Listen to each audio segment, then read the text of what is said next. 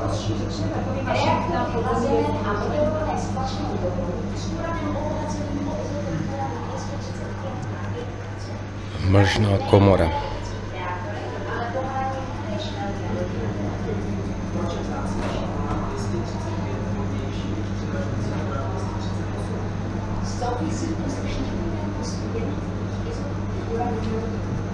Štěpení vzniklé v páru až tři volné, rychlé, vysokoenergetické neutrony prolétají prostorem a ztrácejí se z atomu všech přítomných materiálů.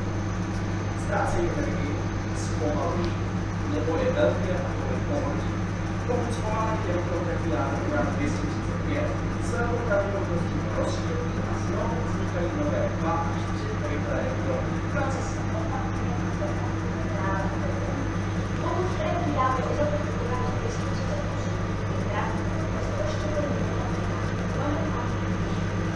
Jaderná elektrárna je technologicky stejná jako elektrárna na. Těší se do tepla. Místo toho elektrárna je velmi levný, protože potřebuje paliv, které vystačí rok a produkuje velmi málo obnovy ve srovnání s její nevýhodou je vysoká počáteční investice, tedy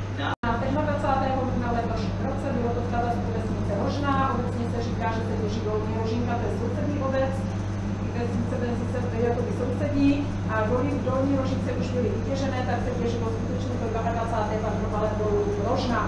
Rožná je chemická úpravna uranové rudy, kde se ta ruda, která se vytěží rotená na prášek, který se ohuje za pomocí kyseliny sírové, takže z toho vznikne žlutý prášek, podobný jako prášek upraný, akorát má trošku jiné chemické složení a nejsou v něm nové krystalky, naplní se